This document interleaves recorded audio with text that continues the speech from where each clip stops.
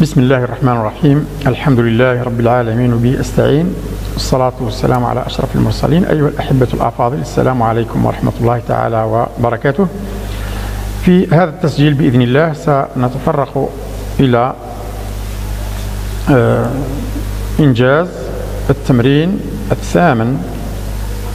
تمرين رقم آه، ثمانية صفحة 52 في وحدة التحولات الكيميائية في المحاليل الشاردية وتحت سلسلة أطبق معارفي.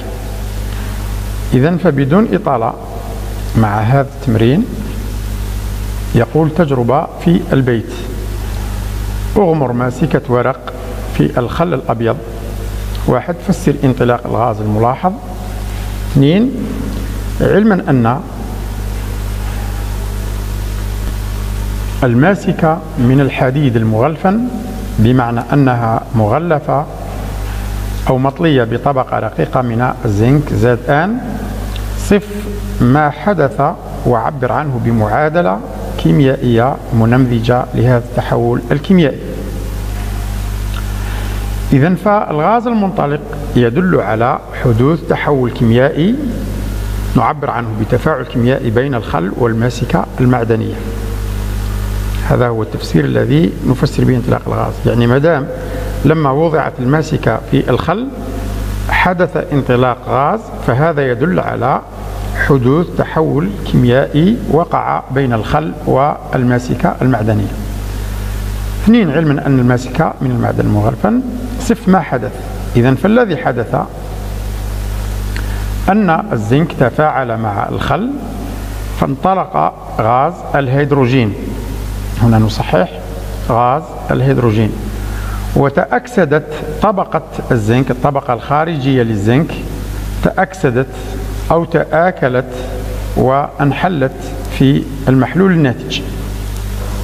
يقول آه، عبر عنه عما حدث بهذا التفاعل بمعادلة كيميائية منمذجة لهذا التحول. إذا المعادلة المنمذجة لهذا التحول الكيميائي تكون بالكيفية التالية. إذا لدينا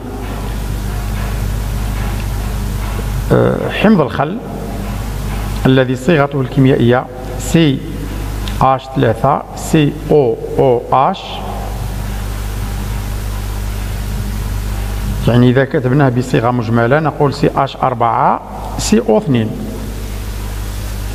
أو C2 H5 H4 O2 زائد زائد زد ان هنا زد ان هو المعدن الذي يغلف الماسكة وهذا حمض الخل.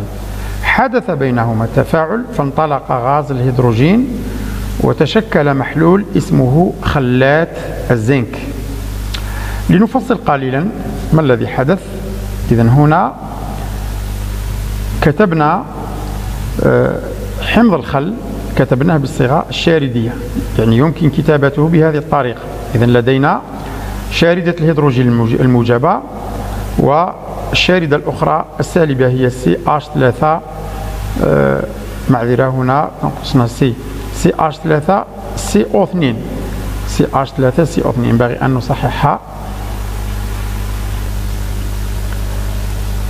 إذا صححنا الصيغة الشاردية. إذا لدينا قلنا هذه الصيغة الكيميائية الإحصائية لحمض الخل. هنا هذه الصيغة الشاردية له. إذا آه، لدينا جزيئين. أخذنا نموذجين أو فردين كما تلاحظ هنا مكتوبة مضروبة في اثنين. لماذا؟ سنرى لماذا؟ لأنه سينطلق غاز الهيدروجين. إذا ينبغي أن يكون لدينا نموذجين. الأمر الآخر ولماذا هذا؟ كذلك لأن ذرة الزنك حينما تتحول إلى شاردة كما سنرى فهي شاردة ثنائية. لاحظ هنا ماذا يحدث؟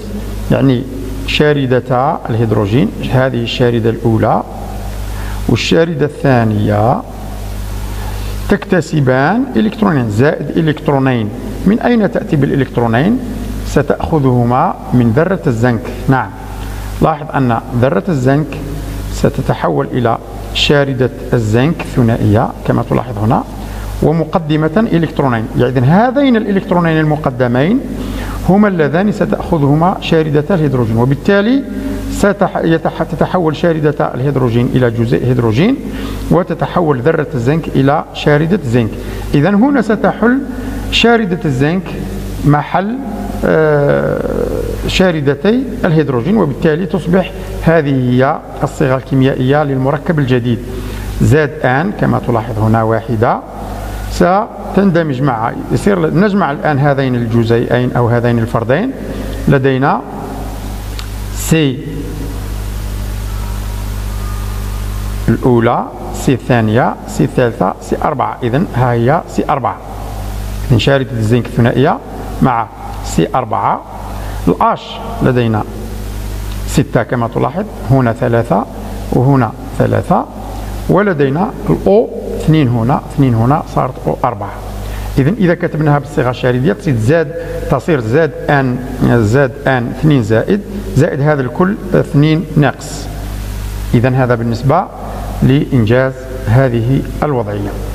إذا في الأخير أسأل الله العلي القدير أن نكون قد وفقنا. كما نأمل أن تكونوا قد استفدتم مما قدمناه لكم وإلى الملتقى بإذن الله مع التمرين الموالي إلى ذلكم الحين أستودعكم الله الذي لا تضيع ودائعه. والسلام عليكم ورحمة الله تعالى وبركاته.